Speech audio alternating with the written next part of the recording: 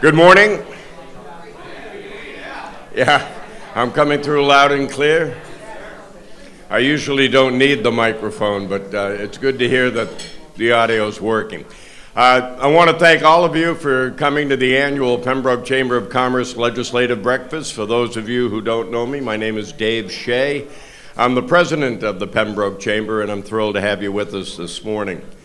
Uh, an event like this does not just happen. It requires a lot of planning and a lot of people uh, rowing in the same direction. Uh, I want to first and foremost thank Joe Ronick and her staff here at the Pembroke Country Club, always putting on a great show. Our uh, event chair, Billy Boyle, has done a great job in putting this on this morning. Billy? And our marketing chair, Peter Brown, uh, has done the great job he always does. Of course, these things don't happen for free, and uh, we, we are totally indebted to our sponsors. I'd like to recognize them before we get on with the speaking portion. Uh, Peter Brown and Tiny and Sons, uh, Brian Fagan, Long Pond Physical Therapy, Mia Antonia, and JLC Tech Lighting. Janet LaBerge and Good Deeds, Sharon McNamara and Boston Connect Real Estate Services, and Art Edgerton and Quatrefoil Drone Services. Thanks very much for your support on this event. Now, our gold sponsor is the one that uh, really throws his weight behind this event. And our gold sponsor this year is uh, Mike Damon, Damon and Diodati CPA. Mike, would you come up and say just a few words?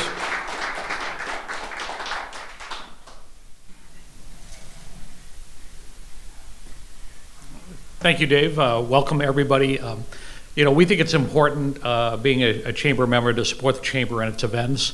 And um, we also had a, a, big event ourselves this year. I'd like to introduce my partner, Mark Diodati, here. And uh, as you can see, we've got this new uh, logo that we're going to be coming out with uh, right after tax season. We don't do a lot of that marketing stuff this time of year. Um, I got the rest of my team here as uh, well. I've got Kim O'Brien, and uh, Jennifer Finney, uh, Chris Eklund, and Kevin Williams is hiding over here. And we have a few people still back at the office.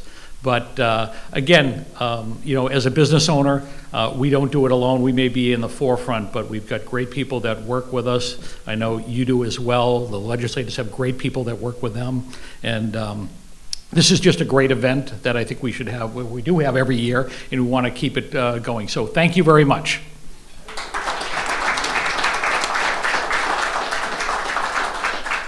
Thank you, Mike.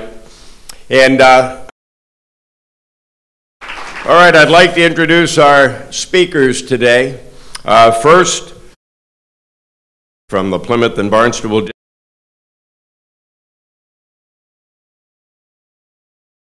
change uh, area and did agree that uh, even though by what you know there were most people getting off that exit they claim are going to either Hanover or Marshfield obviously many of us know that you go through Oak Street or go down you know, Water Street to, to get to Pembroke. Uh, so they agreed to, to rectify that, and they have now put up, and it's actually there, a sign that says Pembroke next to exits. It's on the uh, southbound sign. If you're driving, if you're driving south, you can see it uh, just right before the interchange. You know, maybe half a mile. So that was addressed. Uh, you know, perhaps not uh, as much as it could be, but I think it was a very positive step, and now people know that Pembroke is the next two exits. So wait till all these new people are going to come to your businesses. Well, we appreciate that. Yes, so You thank probably you to the should just who- add to that sign, oh, by the way, Yes. Pembroke is the next two exits.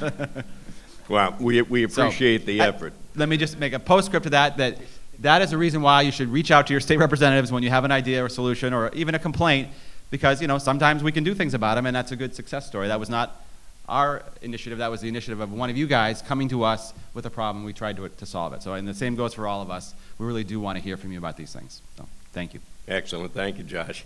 Uh, Vinny, let me start with you. Uh, uh, at a state level, what are plans for infrastructure that will impact Pembroke businesses? Um, specifically, and I, I didn't get, get an opportunity to uh, know specific, specifically that this was uh, an issue, but generally, you know, there are what the tip that you have specific. Uh, I'm sorry. This It's just you.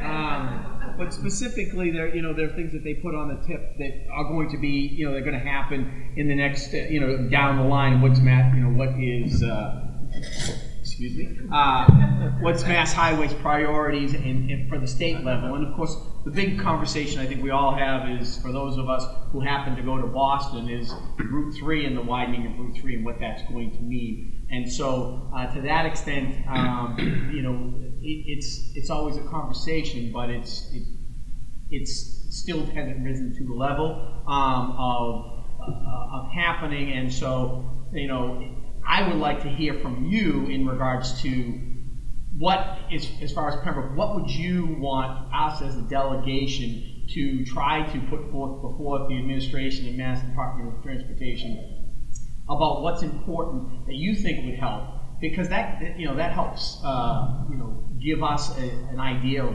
what best we should be doing, what, what, what we should be focusing our energy on. Because as you can imagine, you, you know we, we spend you know millions and millions of dollars in infrastructure, uh, but it's uh, and so everybody's fighting for it as far as the you know the Commonwealth of Massachusetts. And what is what do you see as Pembroke businesses that it's important to give us an idea that we can work to and to move forward on. And, I, and again, I, I speak to the, you know, the widening of Route 3 as, as something, the, the environmental impacts are really what have really pushed that to be an issue. And there's a lot of people that don't want to see, you know, the widening uh, of Route 3 because they feel that it's, uh, it, it's going to make it a super highway and they don't like the, the, the comfort of that for example, way down on the Cape, they talked about doing some more work down there, and the Cape people went crazy because they like, and the highway down there is less than it is here, and yet they didn't want that to change. And so, um, it, that's the kind of conversation that we have to get from you to educate us so that we can go and be your advocate. So that, that would be my uh, thought in regards to that. Yeah. What do you said?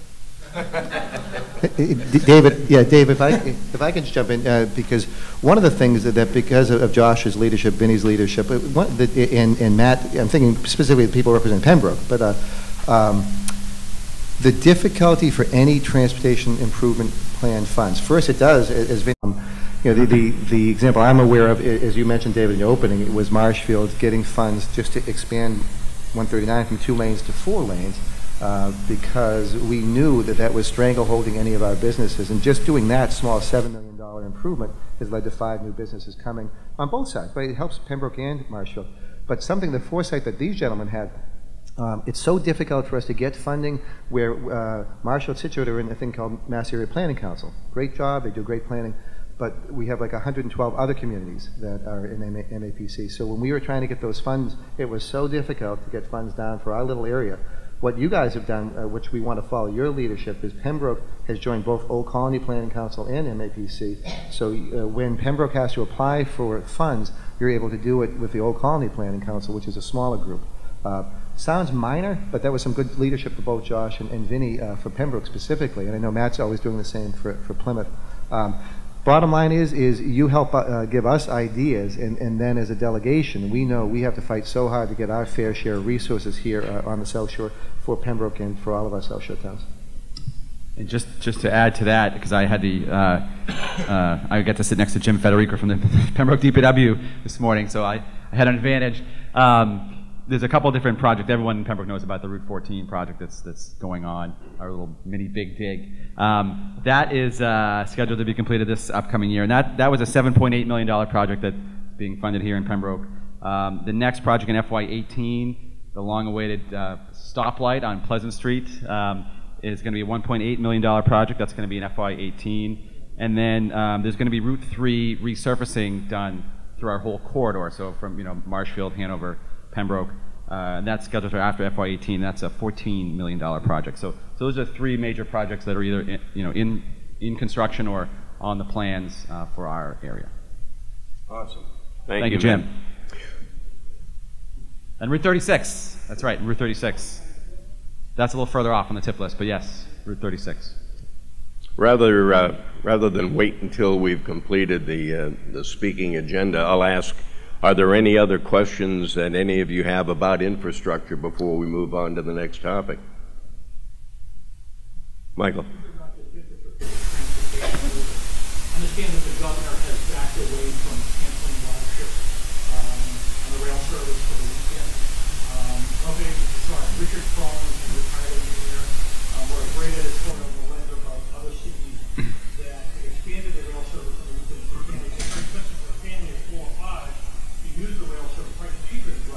Yeah, it is. Yeah. So has there been that correlation, people say, okay, you can get that ridership up if you lower the price weekend? for families? Has that been addressed at all? Yeah.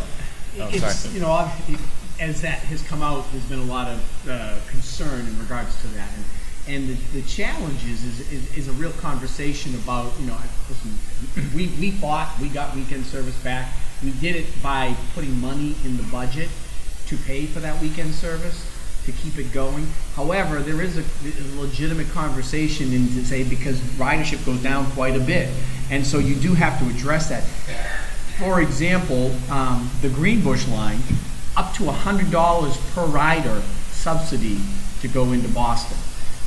That's how much, that's how expensive it is. And then some of them are, are less. So, so during the week, the person that gets into the train and pays what, you know, whatever they're paying is subsidized by about five dollars uh, a ride you know, uh, now on the weekends, it's forty dollars a ride. It's on an average about 30, you know between thirty-four and forty dollars a ride on the weekends.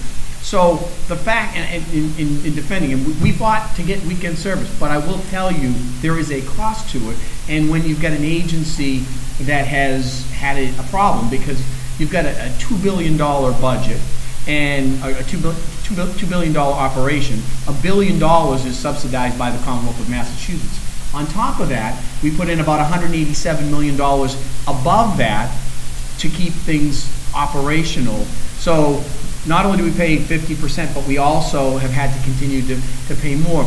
So what do we do? The MBTA has clearly had its challenges, so they're, they're just trying to look at all the options. And so what happened there was a menu of if you do this, you're gonna save X amount of dollars. If you do that, nobody wants to get rid of weekend service altogether. But I think it's fair to have a conversation, because I think if most people realize that on average, we're subsidized by forty dollars per rider, in some of the Greenbush lines, hundred dollars per rider, it's like, not for nothing, but I could get into a limo for a hundred bucks and go to Boston and. and Which he does every day, by the way.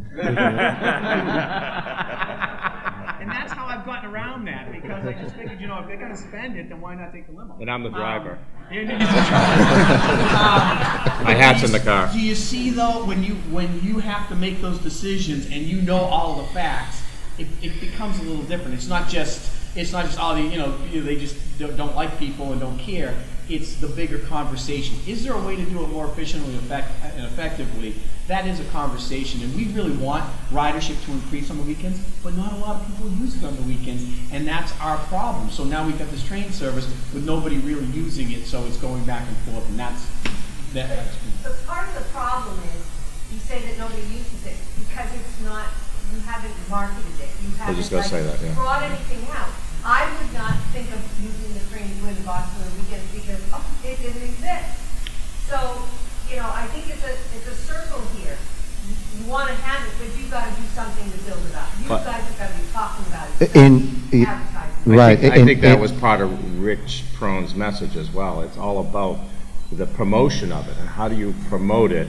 I- It's a catch twenty-two though. It, it's so expensive right now, you can't promote it the way it is. But there has to be that conversation to be had on that side of it as well. Okay, how do we get the, how do we get the cost down so it is affordable for people to come in? But at the same time, then how do we promote it?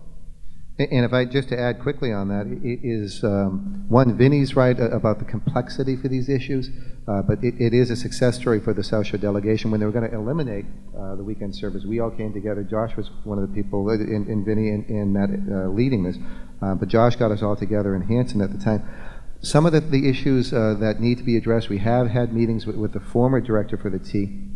Uh, One, WATD has offered to do $50,000 of free advertising to promote weekend service. If you go to some of the stations, Uh, you don't, there's nothing that says we do weekend service at all. People, people don't know. So people during the week, if they, if they saw some of that advertising, they'd say, well, maybe I'd use it. The other is it's, uh, the parking now, it's, I think, eleven dollars a day. Is that right? Is it seven or eleven? Um, uh, Depending where your stations are, it can, it it can? Um, So we, we discussed trying to have free parking on weekends. Um, Now, there might be some opportunity wh- where there were difficulties with the easy parking group from before. Maybe we'll have some opportunities there. The scheduling, uh, no one's going to use it if you go to a Red Sox game and you know that you'd have to leave in the, the sixth or seventh inning uh, in order to catch a train.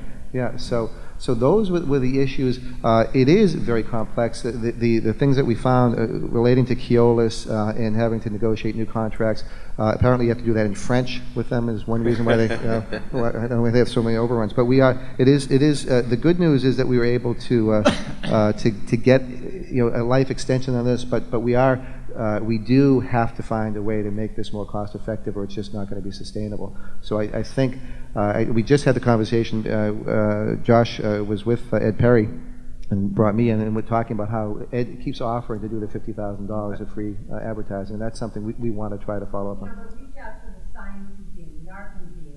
Oh, and, and, and even and all the theaters. Ed's, Ed's idea. Mhm, Just I'm- stick it in this and Right. Absolutely, because they could they could help. That's part of the thing for sponsorships. Because Ed's idea with some of the plays that go on is to get some of the people during the week, people to get on in their in their costumes and, and start you know acting out some of the plays, saying, "Hey, this weekend you should come." There, if we're creative, there are ways at least to bring the cost down. The one thing we have to realize, though, government does have a duty to provide certain services, and you never make money on mass transportation. Um, it's something that helps business. Uh, you don't make money off. Uh, typically, government doesn't make money from uh, paving roads either. You know, there are things that we have to put money into in order for people to get to and fro. So uh, it is something that we uh, uh, value the, the work of Richard Prone. I value the work of these people to my left and right because we, we've had a minor success in keeping it going. We just have to find a way to better advertise it and keep the cost down. And maybe have our, our, our um, public officials use So, on a regular. yeah, no. So I, I would. Let's go um, get crazy now. That's the Republican side of the table. I just want to be clear. Photo opportunity of you taking public transportation. to- Now you're talking. So we, Now so you're talking. th- these are this is music to our ears. So I I think, and I would echo everything my, my colleague said. It's, I push back on the MBTA. They need to like all of you guys have businesses. You know you have to market to your customers. They've done a terrible job of marketing to their customers. We actually came to them with Ed Perry, brought him up to the State House, had a meeting telling them we're going to offer you fifty thousand dollars of free advertising to help promote this. We had a plan where we were going to we were going to have the mayor of Boston meet us and do a group train ride into Boston and come back down as a PR kind of plan to kind of draw attention to this. We had a lot of the same ideas you're talking about, and they just have dropped the ball and done nothing. And I, unfortunately, it's because of the other issues that they're having in transition and the leadership. And I'm hopeful that when they have a new permanent person, we'll get back to the table and be able to help work with them to try to promote this. I took the train when it first um, was restored over Christmas uh, several years back, and, and Senator, former Senator Therese Murray deserves, a lot of credit for her uh, efforts to get that put back in. And it was great. And actually, WATD was covering at the time, and they randomly happened to be the train that I was on, and I was with my kids, and we went into Frog Pond in Boston. It was a, it was a great experience. But you're right; it's too expensive, and uh, it's just not going to be, uh, you know, it's not going to be attractive to folks as an option if it's not more price competitive. So I think there's more work to be done. But thank you for bringing that up. Great, thank you, gentlemen. Uh, Next up, the uh, federal health bill comes to a head today, but uh, you may have missed that in January, Governor Baker proposed a health plan for the state that would severely impact small businesses in Massachusetts. So gentlemen, I'd like you to address what both the Senate and the House is going to do in response to that. I think the, the House votes next month, and the Senate in May. So, uh, Matt, let me start with you. Your, uh, your feelings about the health bill. Well, I'm, I'm not sure anybody who has a business missed it. Did anybody miss that? Two thousand dollar add-on? I haven't found one person that, um, or one business that said, hey, let's sign on to that. Um, it's really, I I don't personally believe it's a good idea to, uh, to do that. Um, I'm not finding anybody on the, on the House side that's, that's interested in doing that. And um, so I, I don't think you're, you're going to see that probably go through the budget. But with that said, there are things that, that need to be done to lower the cost. And then the, the thinking behind it is, is to, we have to take money out of, out of Medicaid. You know, Medicaid is, you know, $14 billion budget. It's a third of our entire state budget. And uh, we need to start reducing that because some businesses use, small businesses do use Mass Health as the insurance.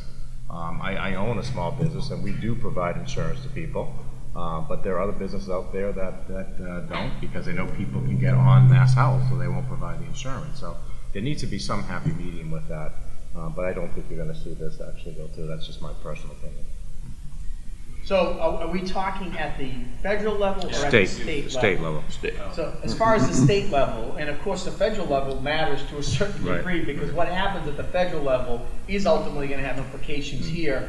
Um, the way we've heard it is that if the changes happen, because Massachusetts, we, we are probably the epicenter of the best healthcare in the world. But with that being said, we are also the most expensive by far. I mean, we are the most expensive health insurance, not just you know in the entire nation, but by far in the entire na- nation. And so that's expensive. And of course, many people, we you know, you live in Pembroke, and if you want a operation, a knee operation, and you decide, well, I'm going to go get done. Well, I want to go to Mass General. I want to go to you know Brigham and Women's, where you know, which is considered by, by all standards the best in the world. But the reality is, is when you do that, mm-hmm. same outcome that you would get if you went to Beth Israel in, Ply- in Plymouth, and yet it's far more expensive there. Uh, and that's what's been coloring the, the challenge here for Massachusetts. And with that being said, we also are looking at the subsidy that we get from the, they're called waivers. So we get a significant waiver from the federal government. If those change, and they, and they, these waivers are to a certain window of time, so in 2020, what we heard is if that um, passes, it will cost, the, or the Commonwealth to get a billion dollars less in federal dollars to subsidize the system that we have in place. Now, as you can imagine, for those of us in, uh, you know, from a state level, that's, that's concerning. I mean, it is, how, how do we uh, uh, uh, deal with that? But that being said, the Affordable Care Act has been a problem too, because what we're dealing with right now in regards to um, the, the healthcare costs shifting is because so many people who used to have private pay insurance, their employees now are choosing to go to uh, Mass Health because Mass Health is cheaper and it's better. It has more coverage. And there used to be back in the day when you had Obamacare, you had there was a wall. So basically, if you had personal health insurance through your business, you couldn't go on to Mass Health. When the Affordable Care Act happened, then they change it so you could. So you're having this shift. I mean, it's literally like seven and a half percent, you know, have gone down in the private, and it's increased in mass health, which, you know, again, you know, huge. We're talking seventeen billion dollars in just mass health that, that we provide as subsidized insurance. Thirty percent of the Commonwealth is now on mass health. It continues to go up and up, and so this was what is complicated. And I and neither is good, but the but the point is healthcare is out of control and it's it's squeezing out everything else. We're going to see a billion dollar revenue increase coming up. Uh, you know, we project next year. Six hundred million of that is going directly in healthcare. That means the entire breadth and scope of a forty point five billion dollar budget for the next year. Everything else has four hundred million dollars to to uh, you know uh, spread that around. And that's our challenge that we're, we're faced with. And so, you know, the governor's tried to put something forth. They, you know, they made it very clear. This is an early conversation. As a matter of fact, if you read the Globe today, there's a story. Now he's got a new proposal. The new proposal, NFIB, they feel much more comfortable because it spreads the burden, at least amongst the entire breadth and scope, because small businesses specifically got hurt there. But it's a conversation that we all kind of have to have, I think, because we have got to change healthcare. Why, why is Massachusetts so far an outlier in healthcare costs? And I think that that's a significant point. Uh, on healthcare, by the, by the way, um, Donald Trump tweeted already saying that, that someone was fooling around with your microphone down at the end, by the way. I'm, I'm not sure. Um, to tell you, just to show you the value for the chamber, um, just to speak specifically to this $2,000 assessment, one thing that, that folks uh, should uh, credit here for this chamber is when I first got elected, first came in, was just being sworn in, and they announced we had a $5 billion deficit. Wasn't my fault. right? But, uh, but, There um, was a correlation. and, and almost immediately, different ideas came out for how we were going to close the gap. And one of the proposals was to have, you may remember, Vinny, one proposal was a tax on uh, services. Uh, and we heard from our chambers loud and clear saying how disastrous that would be. So I, I wanted to start by talking about the value of chambers because we heard that loud and clear. We went in a different direction. Uh, as far as the $2,000 assessment, Vinny's already, the, the, I think it was important for people to put out one reality because we, we have heard oftentimes small business keeps getting hurt because big business excesses. And we should know this. Like, for instance, Walmart. Walmart, everyone should be aware that Walmart, it used to be when people came in, they were smart. They said, well, we don't want to have certain people, you know, working so many hours, we have to give them health insurance. So they would change around scheduling. People couldn't get enough hours, but they would say, here's, here's your contract. You get to get X amount of dollars for your hourly wage. You get this. And by the way, here's your mass health application, right? So we, we do have to make sure it's, it's unfair that we have a government subsidized health insurance that, that's going to help the Walmarts of this world. But to address that, we can't be hurting all our small businesses as well. Um, so I, I, I would note, I think you're going to see some major changes from that assessment we are hearing from all of our, our, our chamber members for sure. Uh, and, uh, you know, for instance, when we're talking of cost, uh, for anything relating to healthcare costs, Josh reminded me, Chief Mike Hill is here, and we talked at, at breakfast just about ambulance service. And, and Mike, we'd, we'd, we as a delegation, we've worked really hard on that issue to make sure that the cost of ambulance services aren't going to get shifted back to our communities. Uh, health insurance companies, as you know, Chief, are, are talking about saying we don't want to pay the fair value of the service you provide. We want to cut it in half. And we know for you to provide that excellent 24/7 care, there's a cost to it. Uh, we're going to keep working with you to try to make sure that you get the proper reimbursements. Thank you. So I just want to uh, give a plug, but this is very timely. Uh, on thir- a week from today, well, uh, next Thursday, the 30th, we're hosting an event with uh, Mike Jackman from Congressman Bill Keating's office, who's here, um, on healthcare. A whole uh, a whole forum just on healthcare and what's happening in Washington D.C. and how that's going to impact us here in Massachusetts. So I encourage if you're interested in this issue uh, to come and join us. It's going to be um, 7 to 9 p.m. at the Duxbury Senior Center on March 30th. So uh, we'll have a whole two-hour block to kind of learn, become experts on what's going on with that. So thank you. Thanks, Josh. And uh, Mike, thank you for representing Congress Congressman Keating this morning. We're glad to have you with us. That, Um, quick question, um, can you all four, um, explain to me how, when somebody's buying health insurance, forty-one percent of those premiums go to the commission of the salesperson, before you even get into Blue Cross Blue Shield, Harvard Pilgrim, or whatever. Forty-one percent is an upfront cost to your premiums before they even get to the company. Any thoughts on that? Sorry. But, and, and and again, I, I'm not certain where that, that's come, I haven't, I, I, I don't know. And that's where- ongoing commissions, you know, to, to get paid out. So if I buy a hundred dollars worth of insurance, forty-one percent of that every year is gonna go mm-hmm. to the administrative upfront thing. It isn't even part of it. And So where did you get that? I- And I'm just, I, I don't know, I, I haven't heard that specific statistic, so I, where, where did you get that? So, so you're saying if you have a twenty thousand dollar Within closet? my work, within my work, I, I know that that's it. Okay, and, and, and so, I, I- I'm sure that's the case, but I have not heard that, so what would you suggest? How would I you? think, I think if you're gonna control healthcare costs, I think you have to start looking at from the dollar one that somebody's paying in, where are the dollars going? And if you start looking at, like, I go to John Brown and I buy health insurance. John Brown takes his twenty percent, every year it gets renewed. And then his agency, they take their percent, and then it goes to the next one who's actually administering, they take and then it gets to our Pilgrim Cup. Is John Brown a chamber member, by the way? As we're taking, I I think there's a question, there's a question, there's a question over you here. better be. Yeah, yeah. Mm-mm. There's a question over here. Do you want us to address, why don't we do the question and we'll address?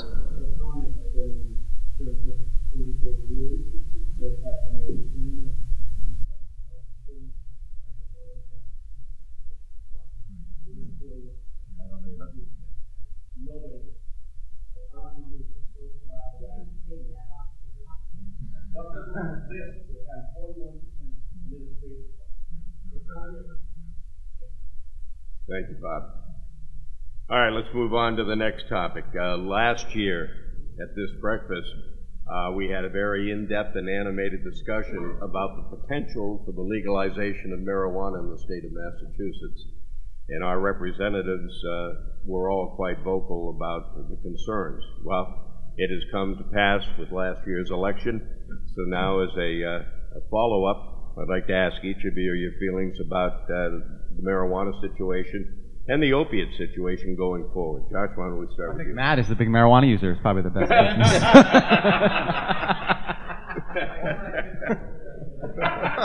Art, keep rolling. oh shoot, we're we're videotaping this. Yeah, thanks. Out of Plymouth, too. um, That, that- that was directed to- towards uh, Matt Peterson. Uh, You know, you're saying about Matt, Matt Peterson. something. Well, so I, uh, there's a lot we could go with that. With you know, obviously marijuana is now recreational marijuana is now legalized, and we're grappling with you know the aftermath of implementing that. And there's um, a lot of discussion. We have a, a special committee, and I, I don't want to take it lightly, but the committee is called the Joint Committee on Marijuana Policy. And I'm on it. So Vinnie's- so thankfully, I am not on it. Uh, maybe Vinnie can address that. They've already had a hearing, and there's obviously, as you, you know, when you pass a ballot question, and I will just note that Pembroke did not support the ballot question, and my district did not support the ballot question. Um, but nonetheless, it is the law of the land, and I think we all respect the will of the voters and you know, are committed to implementing that. But you know, there's a lot of twixt the cup and the lip. There's a lot, you know, there's a lot to be decided in the gaps there, and that's what we're struggling with now in terms of implementing this, um, o- regulatory oversight. The ballot question kind of had broad strokes, but you have to fill in that with the regulatory framework. So it's not such an easy thing, and there's a lot of discussion about what the tax rate should be, what the, you know, how much more control should we give to local municipalities, because we all want to have more control locally. Um, there's a debate about that, debate about the edibles and how much regula- regulation there should be with that. So um, that's really an ongoing, it's probably the, the biggest issue we're dealing with other than the budget and healthcare right now on Beacon Hill, I would say. Uh, and um, I think the speaker has said that I think they want to have a bill out by June. Uh, I think that's the timeline to sort of fill in the gaps with the marijuana law. And so, you know, we're, we're going to see what, where it's at. Speaking for myself, I'd like to see, you know, some changes to the law. I think um, we can still respect the will of the voters and make some changes to give more control back to local municipalities, uh, and, and especially regulate the edibles, which I, I do as a you know parent of kids. I do worry a bit about that. So those are sort of two areas that I would like to focus in on, and I'm sure my colleague, maybe Vinnie, can, can speak more. I, I, I would just say briefly, and then I see you have a hand up. Do you want to do questions first or have us speak first? Okay. but, Um, very briefly, because Josh did a great job covering it, that, that, that by the way, Marshall and Scituate also voted against uh, the legalization. We will have, it's a difficult balance because we will have to weigh, uh, balance the, the will of the voters with our duty to protect public health. Um, I do believe things like uh, THC content. Uh, when I was a younger person, people would smoke pot. It was about 6% THC content. Now some of these things, products are 40, 50%. Or if they, they can be able to distill them down, they can have about 80%. And so we're told people become, after, you know, after ingesting some of this, people can, uh, for a period of time, can't do anything. They just uh, are, are, inoperable. We know the effects that can be on business, so we need to give everyone some clear direction about what do you do uh, if you have someone coming in who looks like they're high. Um, we definitely are going to have to change the tax situation to make sure that it's paying for. We, we now are going to have to have a whole new branch that's going to be able to regulate uh, these issues, coming everything from how one can be able to market edibles. They have some of these products that you know, kids will never know the difference. Um, they show things that's called Scattles out in, in Colorado, and Vinnie's better on this, but things that look exactly like Skittles, but they, they have they've been in, uh, THC issues on the gummy bears and the like. So uh, we are, I would say, I, I know everyone in the South Shore, we all were opposed. We uh, following Vinnie's lead on this about going to our our respective towns, saying that, that the town should opt out uh, and not have uh, recreational marijuana in the communities. So at least to try to do what Colorado's done, have them in just different centers. Uh, and that would be my intent, at least to balance. Again, we know what the people in some people uh, in our districts who wanted very much to have uh, legalized uh, marijuana, uh, and we're going to have to balance that. And my vote would be to try to make sure we temper that with uh, protecting public safety, public health. Just want to play off a little bit what Jim said, but first of all, Josh needs to leave early today. I, I understand he has twelve plants being delivered to his house. So, I don't know, he's doing some new gardening or something. I don't know. Um, But But um, in Plymouth, um, we actually are meeting with the Board of Selectmen on Tuesday night. Um, Vinnie, myself, and Tom, who had another engagement who couldn't be here today, actually uh, went to the Board of Selectmen the first meeting in January to talk to them about the opting out of the um, recreation um, stores. And um, it, it was interesting. Plymouth, Plymouth actually did vote for it. I think it was what, 52, 48 percent. It was close, but they did vote for it. But what happened after the fact is then people started hearing about these these marijuana shops that were going to be open up and say, well, wait a minute, yeah, yeah, uh, yeah I, I want to legalize marijuana, but I don't want these shops in my town. So we went to the selectmen and said, okay, let, us put a, a question on, on the ballot. We're going to go Tuesday, and I think they're going to finalize that to get it on the May election.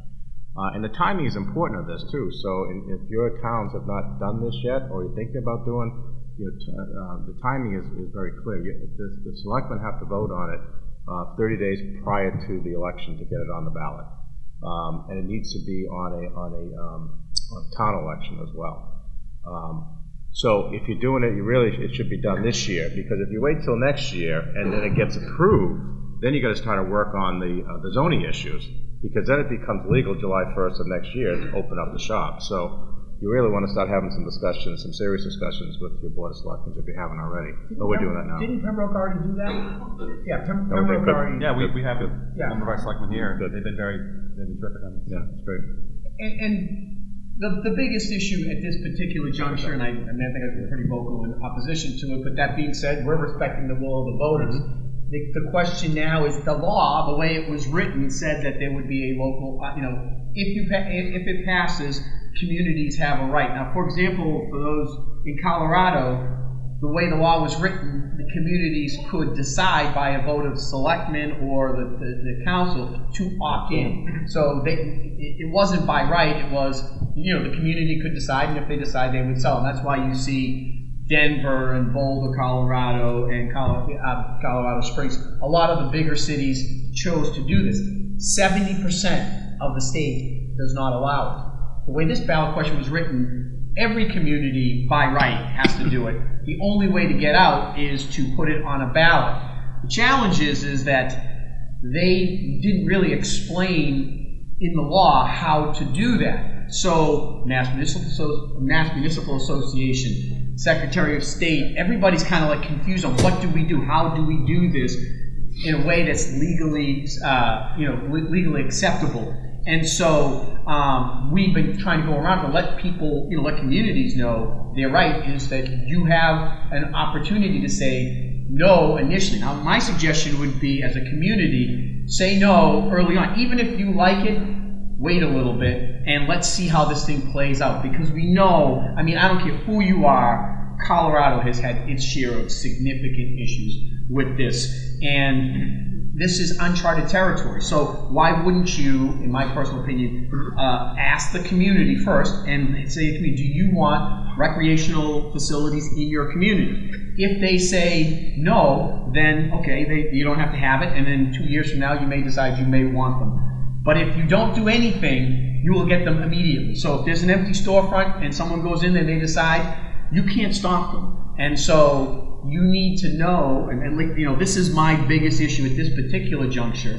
And you know, not to mention the THC and all the other things, but local control, I have to think is one of the most important things. You have to decide as a community, you do not want a bill that was basically written by an industry for the benefit of the industry to tell you what you're going to do with your own community. You have to have your, you know, your own uh, protections in place. And so, congratulations to Pembroke for putting it on the ballot. Now your constituency is going to decide, do they want recreational marijuana? And if they say, yes, they want them, then now you still have till the bill becomes law. And this is what Matt was saying, is if you wait till next May election, the law will go into effect basically July 1st, and then you have no time to really react and put together a smart, uh, uh, plan, you know, a smart plan together that will uh, control where these facilities are. Otherwise, they go up everywhere. The, the argument is in Colorado, there were more pot shops, you know, retail pot shops than there are Starbucks, McDonald's, uh, Starbucks, McDonald's, and uh, 7-Elevens combined. So, because everyone could do it, so they all went in and they did it. And once they're in, it's very hard to get somebody out. So to that extent, I, you know, I want to congratulate the town of Pembroke. We're doing it. it- We're, that's coming before Plymouth, Kingston. We're going as well. Kingston to that. So that's the big issue. Thank you, Vinnie. Now, somebody had a question over on this side. Yes, Maureen? Um, so marijuana is not federally legal, so it's. Um, so therefore, there's not a lot of federal spending on the research and of marijuana, like medically, public health wise. So there's no real leading research, except for maybe independent studies on marijuana.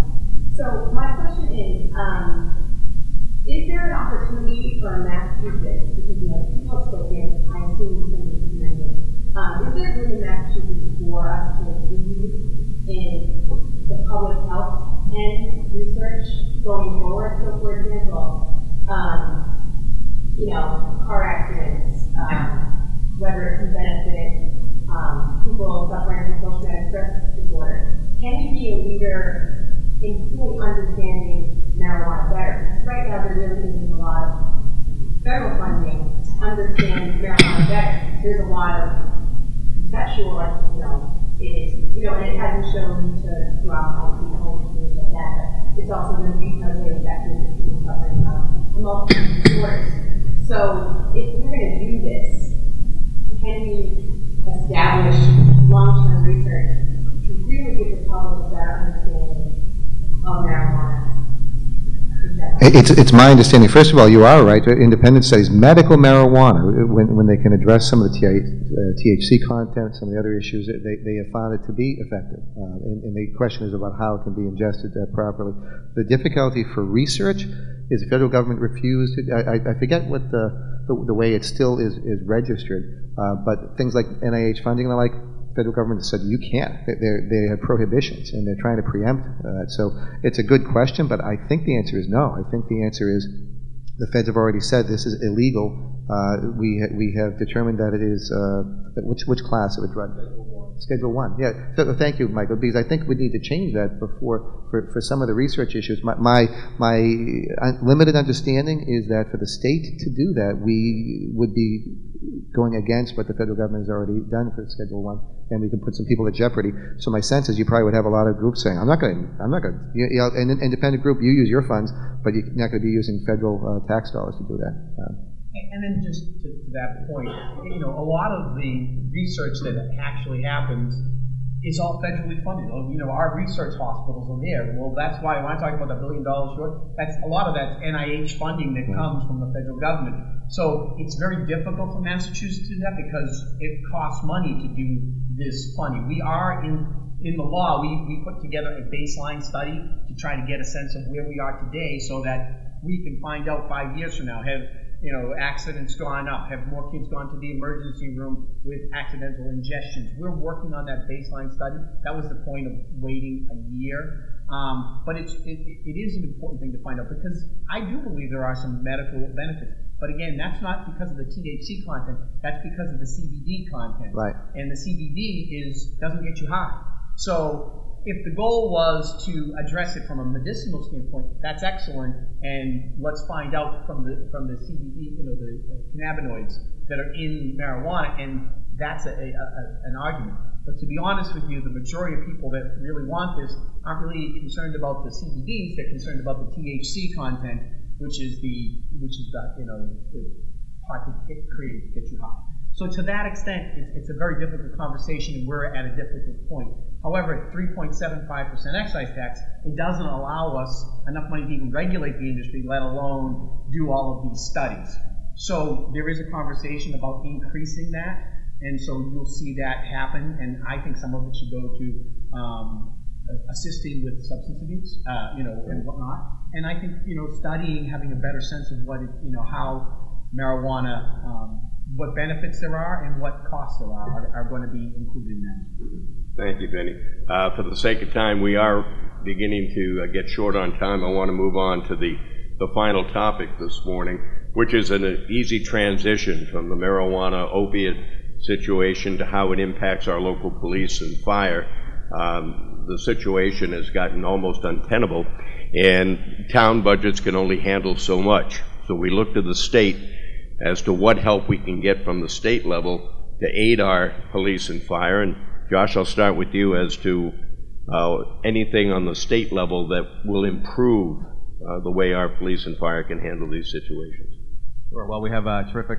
We have Chief Wall and Chief uh, Hill here, so thank you both, gentlemen, for fine departments that you run. Um, so I, I guess on a ma- there's a sort of a macro level and a micro level here. Um, from a statewide point of view, we've passed some major legislation dealing with opioid abuse uh, last term. Uh, two bills. One was dealing with the insurance company mandates, trying to make sure we moving roadblocks so folks can get insurance coverage for opiate treatment more easily, which then you know, downstream um, solves problems. And then the um, the big bill that we did last session, the Governor Baker signed, dealing with prescription drugs and trying to um, reduce the overprescription of prescription drugs, um, which we know is an issue, which again impacts local police and fire. My, my colleague here, Jim Cantwell, has been uh, is chairing committee uh, commission dealing with downstream prevention, trying to look at behavioral health and um, trying to solve some of these issues at more of the root cause level and see how what kind of best practices we can bring to the fore to try to address that. And he can obviously do a better job of explaining what's going on with that. Um, so those are some of the things. Um, you know, locally, we're also looking for ways we can just help out our cities and towns by getting additional funds here and there. Uh, Senator deMacedo and I got $50,000 in the budget last year, which uh, went to um, Pembroke, which allowed them to buy um, tactical gear and um, uh, emergency response kits for you know high leverage situations. So that those funds are already spent and, and, and in place. And uh, I got to kind of get a quick little tour from Chief Wall with uh, what's um, what the money was spent on, and, and um, so we're always trying to look for opportunities like that to try to find ways we can bring a little bit of that extra funds back to the town, and you know, obviously we'll continue to do that. Uh, I would think, having been a selectman, and I know actually all of us have done uh, things with local government in the past, and, uh, we know just the value of local aid, uh, and it is one of the areas that every single budget that we, as a delegation, work very hard to try to return as much aid back, uh, so that both uh, Chief Wall, and Chief Hill have the, funds to do their very important public safety work. Uh, as Josh mentioned just very briefly about the special commission, when we're dealing with opiate issues, we spend 97% of the money we spend that relates to substance abuse downstream. So we spend it as we should, helping our police, helping our, our fire, trying to help people if with uh, Narcan and, and the like, um, or at least funds. I know you're buying them yourselves, uh, but we're spending money on people for jails. We spend money at hospital rooms. We do 97% of that money is downstream. Uh, we're trying this special commission. We're looking at ways to, to try to do use the term moving upstream. Trying at the, the beginning, what kind of skills can we help young people so when they're in second grade, we have proven techniques about how children learn, about what they put in their body for food, and what's the healthier way to act.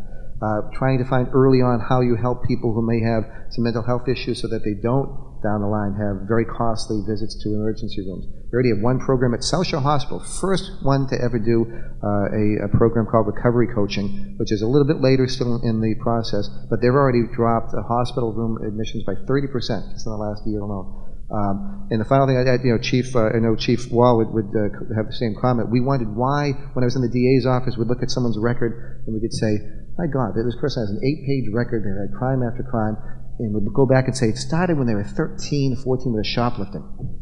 So what could we have done at that time to try to have some kind of intervention to keep that person from having a life of crime? One of the people on this commission is Chief Justice Carey. Another person is the Director of Public Safety. We're looking at those issues as well so that we hopefully don't have the kind of stresses that both uh, Chief Wall and Chief Hill have to deal with every day, trying to direct people in the right uh, direction about living their lives.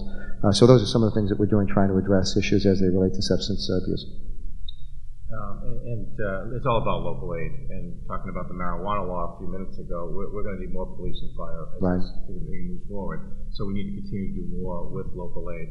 Um, this week, though, there was uh, something we passed in a supplemental uh, that's a little bit off the topic, but it's very important, though. If a, if a uh, police officer or firefighter is, is killed in the line of duty, uh, there was a one-time benefit of $150,000. We just doubled that this week, so it'll now be $300,000.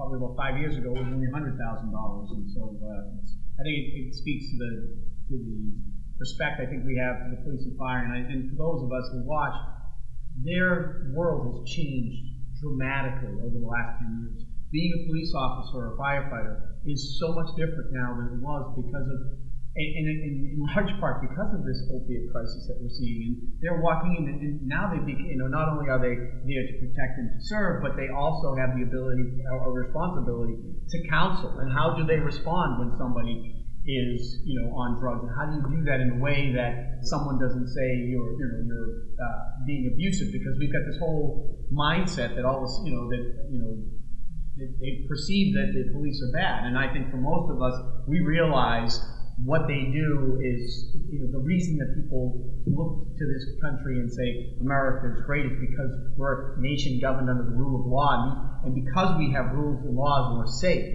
that's why people want want America so much. And so, um, I consistently tried to be supportive, and I appreciate how much it's changed. And we've got to give them the tools and the training to be able to deal with these challenging situations and circumstances because I dare say not none of us have had to really deal with um, somebody who's high on some type of a drug and try to, you know, protect not only themselves but protect that individual from themselves.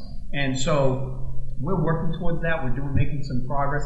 That piece of legislation that we talked about about uh, the prescriptions, right. we've actually in this short window of time, a year have reduced prescription uh, prescriptions by 15% that are actually mm. going out. By 15%. That's only in one year, and we're a, a, leader on that. And we have to cut that down because we know that that's a, a pathway towards addiction because of overprescribing for um, these, uh, these painkillers that cause people to become addicted. Um, so little by little, we're making progress, but we do need to do a better job of assisting our police and fire because it is a very, very difficult industry to be in, and, uh, and you know, my heart breaks, you know, for, for those who have to go out there and deal with it. Thank you, Vinnie. And uh, we did take questions from the floor as we proceeded through the topics. Uh, I will ask, is there any one burning issue that you are hoping to get an answer to coming today? Ginny? Chapter 70. So, hi everybody, I'm Susan Lindell, and I am a member of the Chamber, um, and I'm doing the um, and so I guess maybe the way a little bit at the end is about our quality of life. And quality of life for me absolutely segues over the marijuana and the topic issue right now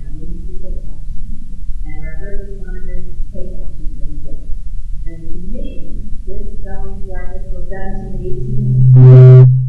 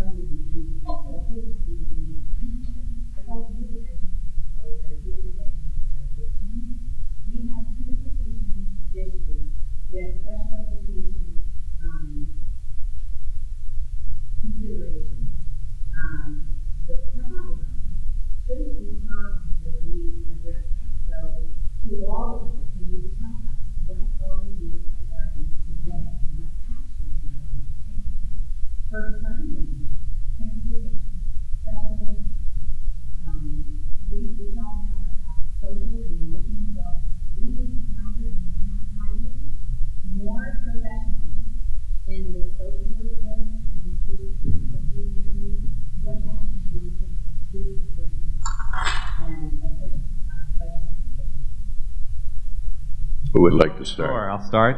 I'll start and then pass to Vinnie. Thank you, Ginny. And uh, we, so we, we, we just had a, a, good discussion, was it last week or the week before, uh, Pembroke School Committee about a lot of these issues and happy to kind of bring it to a larger audience.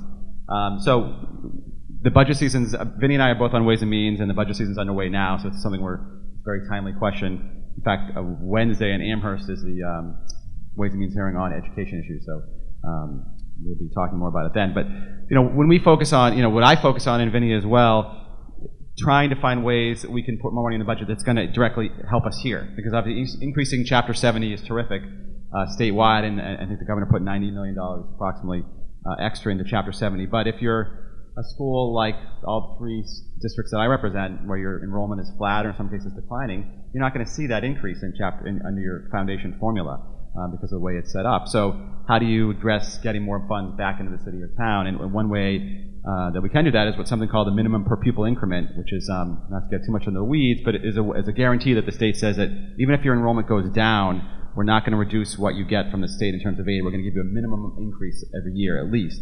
Um, and in the past, that formula, it's just a basic math formula, it's the increment times the number of pupils. In the past, that's been uh, as low as $20 per pupil. Last, um, last budget season, uh, because of the efforts of our colleagues, we were able to get that uh, more than doubled actually to $55 per pupil, which um, you know put real money back in uh, for Pembroke was 100 and, 100 ground, 100 grand, $108,000 more than we were going to get otherwise. So that is real money. Um, so that's where we, that's where I try to focus efforts. Uh, and I, when I, and I did have, uh, as I expressed at the meeting, my one-on-one with the chairman of Ways and Means, that was the first thing on my list was uh, the minimum per pupil increment, keeping that at 55 or keeping that, you know, getting that above 20. Um, you know, we're in a challenging budget year, as Vinnie mentioned, because of primarily because of healthcare costs and mass health taking up 40% of the budget. So, you know, I didn't get a commitment that that was going to be the case this year, and I can't make that commitment to you guys, but it's certainly something we're advocating for. Um, that that's probably that is the top thing on my list. Um, some of the things that you mentioned as well, special education costs, um, the circuit breaker, uh, vocational, and I have some more information about the vocational student transportation because I know that was a question at the meeting. Um, uh, for my folks over in Whitman Hanson, regional school transportation is a big issue because they have a regional school district and have to pay for busing. So there are a lot of other accounts that aren't Chapter 70 that impact local aid, and they're just as important because obviously the net amount of money coming back to our cities and towns is the net amount of money, whether it's one program or the other. We want to make sure we're, we're not fixing something over here and then seeing a cut over here. So you know, that's certainly something we're working on now, um, and, and, and I, I know I can speak for my colleagues on this, that we all are united in, in, in that, in that front, that we want to see more for Chapter 70 and for our local aid accounts, for UGA, which is, which is lottery aid, essentially it's called unrestricted general government aid. So Governor Baker has been um, a good ally in this, um, but I think in terms of Chapter 70, we do want to see, we, we hope that the House budget can improve upon those numbers. And for me, very briefly, I, I'm a son of a public school teacher. My mom taught for 26 years, uh, teaching little ones. Uh, probably the greatest gift ever is the, the gift of how to read. Um, uh, and, and, and she's still, yeah, still working for me. Yeah, yeah. Um, um, the, the good news for Josh and Vinnie, but the good news last term, I was on Ways and Means. Uh, the bad news last term is I was on Ways and Means um, because there, there are so, so many challenges. We, once again, will probably do the highest amount of Chapter 78 in the history of the state. They've already been setting that out. Uh, hard to keep up with the levels of inflation, however. But I will want to note, gentleman to my left was very, very modest because we did more than double the minimum per pupil increment that we were giving back to schools. He led that. We, we all worked very hard to protect it, but Josh was the one that made sure to lead the issue. Ginny, to, to address your issue, uh, by the way, and I'm glad you're a realtor because we'll talk offline about things we're doing in flood insurance later. But for uh, for uh, for the issue, You had to get the flood insurance. I had to get in. it somehow. The whole Right, thing right. couldn't go by without flood insurance. Oh, by the way, uh, for specialists, one of the things we have, the schools are bursting with costs of trying to have to bring specialists in to address the needs of children. We really should be looking at the insurance companies, in my view, to try to help with paying for that because there's some requirements that, that during the day that children would need who have some medical conditions. Uh, and the other thing uh, probably not popular to bring up, but I hope that you, I hope that you would support the millionaire's tax. Uh, because we will be having a vote uh, at the ballot in two more years about whether or not to have people who make over a million dollars pay a little bit more. But we shouldn't even call it the millionaire's tax. We should all say, listen, for our friends who are out there, our friends who make $20,000 a year or more, if you make $20,000 or less, you're not going to be affected at all. But if you're earning twenty thousand dollars a year or more, that, uh, uh, uh, no, um, uh, is it, uh, if it's not, you'll be over a million, right? So, so twenty, twenty thousand dollars a month, thank you. That's why. Big- that's- big that's- difference, that's Jim. why- That's why he's always me. Um, Yeah, if you're earning. That's why you're not anymore. If, if, if you're earning twenty thousand, uh, uh, if you, yeah, if, if, if you earn, if, if you earn, no, if you earn one million dollars, right, for, for, yeah, twenty thousand dollars a week. It is, that's what I said. He- he- he- Oh, I, I'm sorry. year. Let me take that all back. Uh, Start yeah, over. Yeah, yeah, yeah. I don't know. That's, I, I became an attorney because I was told there'd be no math in this debate. Um, and luckily for me, Mike Damon does my taxes.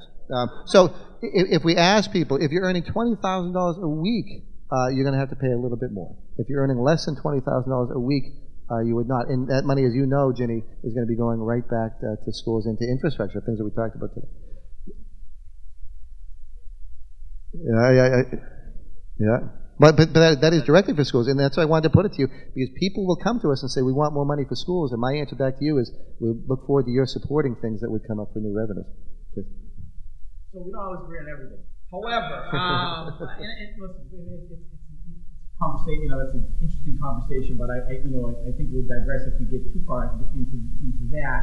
But to talk about, and, and you you've hit it on the head a lot. What a lot of people don't realize when for 20 years serving at, at the school level, understanding that there's the mandates that come, and they all every mandate at the time has a good intention, but those good intentions obviously have significant costs. And when you talk about transportation and the, and the responsibility that we have to uh, that we have to transport, so in, you know this is a difficult issue. But if somebody happens to be homeless and they you know end up in a motel somewhere else or a housing somewhere else, the school has to then pay to wherever that you know individual ends up has to transport that student back to where they were from originally for the obvious reason that you would want them in an environment that you know they're comfortable with, but there are costs associated. You talk about the special education costs. All of this stuff is expensive, and, and it's really this is the challenges that you, and the, the benefit of seeing you know ways and means angle is nothing happens in a vacuum. Every decision you make becomes cumulative, and it, it, there's a cost to it. And that's the challenge that the, you know the schools you see they're advocating for more resources. It's not that uh, you know it's just hey we just want more money to do more things. It's they're trying to deal with a lot of the mandates that are put on, and, and that's why as a legislator I've always been kind of um, mindful of.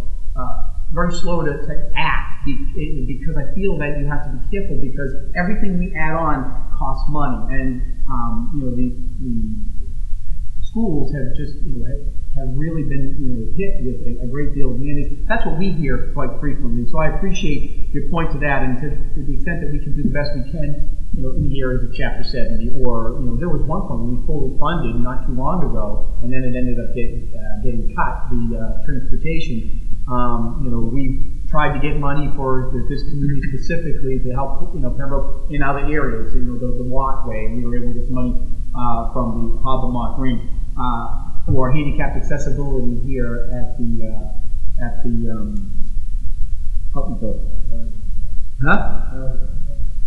The herring run, I'm sorry. So for the, for the, the herring run, and of course, we got it, and then through difficult times, the governor had to cut $98 million, he cut that again. We're going to go back and try to assist the community in that regard. So, because if you take pressure off in those areas, it does help to pay for the other costs that you have. Um, but Chapter 70 has always been a priority for us. Local aid has been one of my priorities. Local aid, I want to get as much money back to the community because I think you all know best how to use it. It's very difficult to have someone in Boston tell us how we should expend dollars.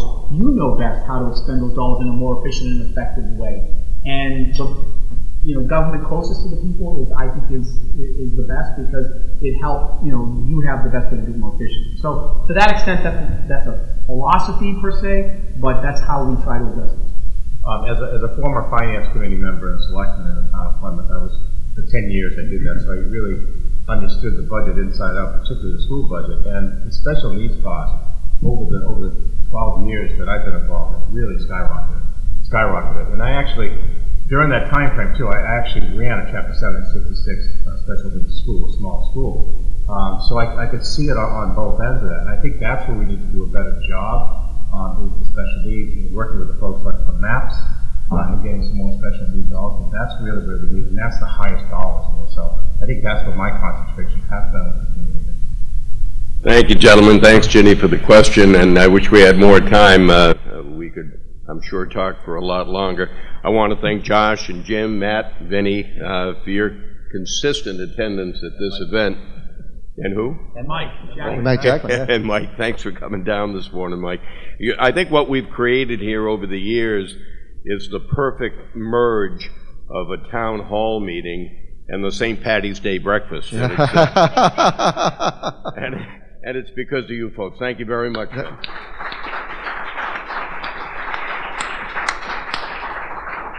And, and David, we want to thank you for putting it, not only for your radio voice, but you putting this together with Bill uh, Boyle and others. Uh, in closing, by the way, what we've learned about how important all local business is. First of all, I did do a plug. Mike Damon does my taxes. Kim O'Brien has to chase me down every time, so thank you for doing it all. Uh, but I don't know, but but but I, but when it comes to, to advertising great work for uh, Tiny and Sons, my glass repair stuff, but we all know we had a bill signing up with the governor of the, the Commonwealth of Massachusetts. And you, if you want to know someone who knows how to do great work, period, but also how to market his business, the governor signed the bill for your dad.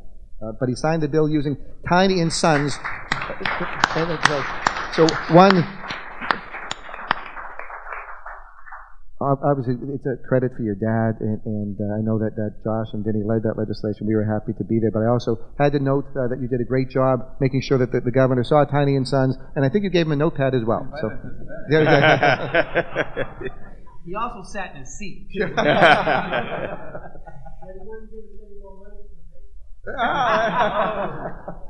Has everybody put their business card in the bowl? Billy, would you mind grabbing uh, the bowl as you came in? Uh, hopefully you flipped your business card in there. If you haven't, raise your hand, and uh, Billy will come around. We're going to pull a business card. By the, by the way, uh, Jim, Jim, I did, Jim, I did your calculation for you.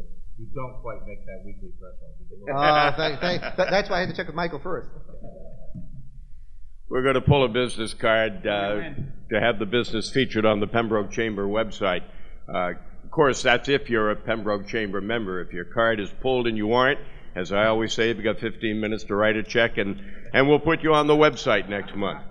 Uh, Many of you members here uh, may feel like, geez, I- I'd like to get more involved with the chamber, and I think we've got a a tremendous chamber. We've grown a lot over the years, and uh, we're vibrant, we're very involved. If you would like to be more involved in the chamber, why not consider being an ambassador who uh, goes out on behalf of the chamber and meets with other businesses in the community, gives you a chance to meet other business owners, and also to feel like you're contributing to the growth of the chamber. Want to remind you of uh, events coming up. We've, we've kind of fashioned it where the majority of our events are on a Tuesday evening. Our after-hour events, other events. Uh, if it's a Tuesday, it's the Pembroke Chamber. Uh, next month, the 11th, uh, Anna and the Council on Aging will be hosting our after-hours networking event. Hopefully, you can make that.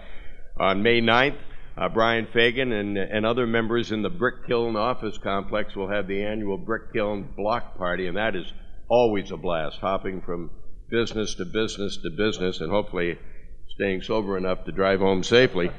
Uh, on, Thursday, uh, May 25th, our annual kickoff to Memorial Day weekend out on the patio at the British Beer Company. That is always a great time, and that usually draws people from the Hanover, Norwell, Marshfield, as well as Pembroke Chambers. It's a great networking opportunity. And Steve Tomasi and AJ Tomasi Nurseries will have their barbecue on uh, June 13th. So thanks again for coming out this morning. We really appreciate it. We'll see you soon.